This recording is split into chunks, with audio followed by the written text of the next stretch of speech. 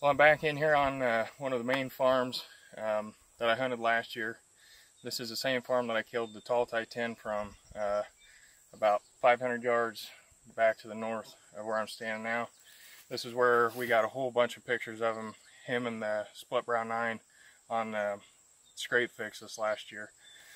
So I came in here today, I cleaned out a whole bunch of limbs, I opened this up a little bit, and we're going to put a Browning trail cam on the tree and uh, we're going to hang a new ScrapeFix vine right over my head right now and we're going to put the uh, the new velvet from ScrapeFix on it and uh, we're going to see if we can't catch some of these these deer that I've been waiting to see for the last uh, few months uh, hit this scrape so got a little more work to do and uh, we'll see what we can find on camera.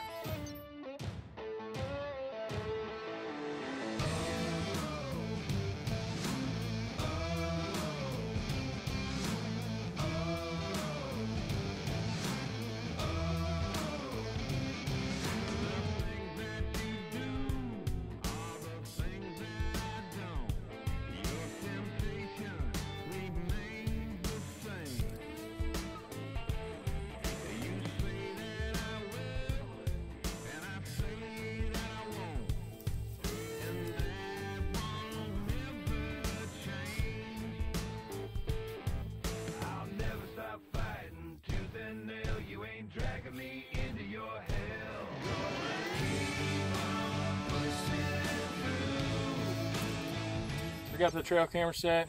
I got the vine set. Last thing, we're putting the velvet powder on. Get the douse a little on the ground, puff a few puffs on the uh, on the vine, and this spot's done. I'll be back in the next couple weeks, hopefully, to see the split brow nine hitting this scrape. And I cannot wait to put my eyes on him this year. And next, we're going to go across the backside of the farm on the south, and I've got a bunch of monster meal that we're going to put out over there. It's not anywhere close to the tree stands or nothing. It's out way up on top of the hill. So, well, we're on the south side of this farm now. Uh, I had pictures of the split brow nine clear over on this side of the farm too. I'm way up on top of the hill. This is corn this year. Um, we're right next to the cornfield. Um, I've got a tree stand about 600 yards back to the east from here. I don't hunt this as just a tree line, uh, fence line way up in the middle of nowhere. Um, I didn't put any monster meal out here last year, but I'm gonna try it this year. A lot of times the early season we get the bachelor, uh, the bachelor groups and uh, you know some of the lone bucks. They like to travel these big hilltops, you know, out by themselves in the open where they can see everything. So I'm gonna put a Browning camera right here on this little tree, and uh, hopefully we can get some of these deer moving up here. And staying uh, staying up on top of these hills. Some of our best pictures last year of uh, the bachelor groups came off of a bean field about a quarter mile away with absolutely nothing around, kind of like this. So we're gonna see what we can do on this new site. Well, it's late July.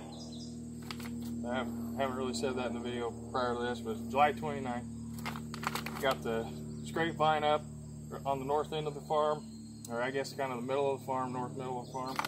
I've got a monster meal here, monster meal attractant, Got the Browning trail camera set up here. I got one more spot to hit. About 600 yards away, I got a tree stand. I've got a, a, a, a scrape in front of. I'm gonna go freshen that up. I've ran that all year.